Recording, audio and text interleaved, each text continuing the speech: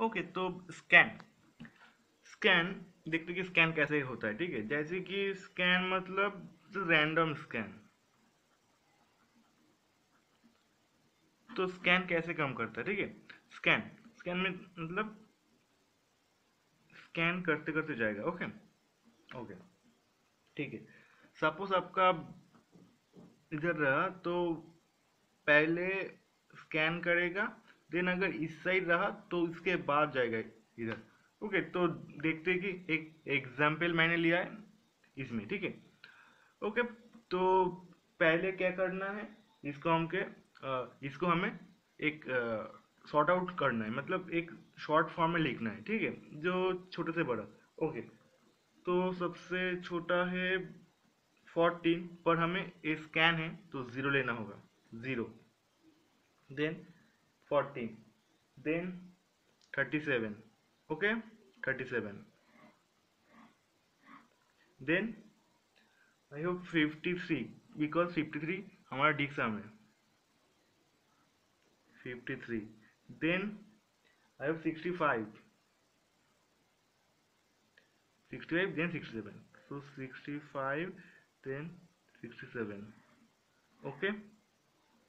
Then then शायद 98 हाँ 98 इससे बाद is then हाँ ठीक है। 98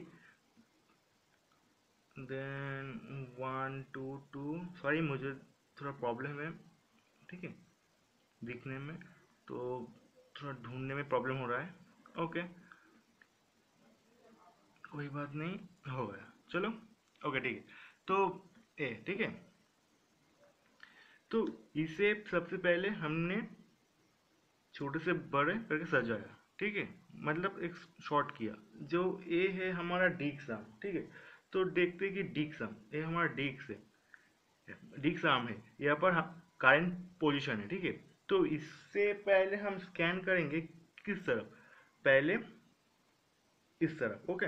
तो इसके पहले सबसे पहले आता है ए देन इधर देन इधर।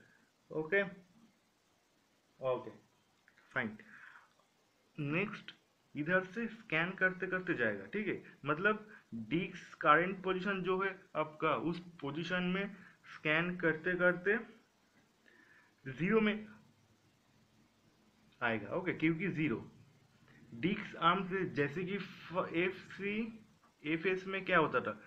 डिक्स आर्म जिधर था उधर से डिरेक्ट आपका फ़र्स्ट जो था, उसमें आ जाता था। देन ऑर्डर वाइज जाता था, ठीक है?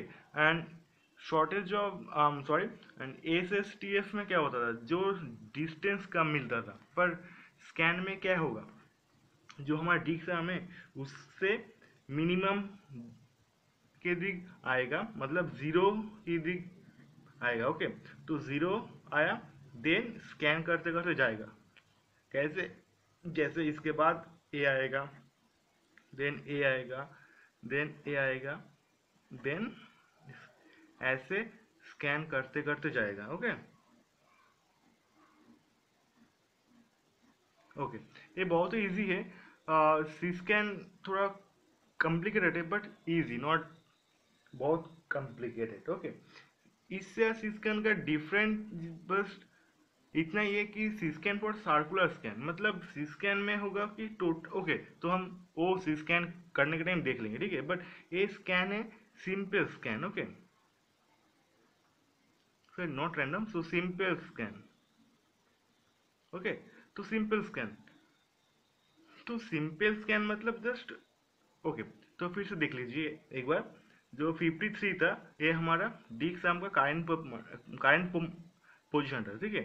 तो करेंट पोजीशन से लेकर ज़ीरो जो हमारा सबसे छोटा बट यहाँ पर नहीं है, ठीक है? फिर भी ज़ीरो को हम लेंगे okay because zero is the minimum number okay अगर आप चाहे तो नहीं भी ले सकते हो, ठीक है? पर मैंने लिया। तो फोर्टीन है तो इधर से इधर आएगा। ज़ीरो इज़ द मिनिमम तो एक डिक्स होता है तो डिक्स का एक मिनिमम होता है, एक मैक्सिमम होता है, ठीक है? जैसे कि स्कैन में मिनिमम पे आएगा। अगर ज़रूरत हो तो भी मैक्सिमम में जाएगा अदरवाइज़ मैक्सिमम में नहीं जाएगा ओके ओके तो इधर स्कैन करते करते आया देन स्कैन करते करते मैक्सिमम के दिख गया ओके ये होता है सिंपल स्कैन और स्कैन तो नेक्स्ट देखेंगे हम a circular scan okay C scan okay thank you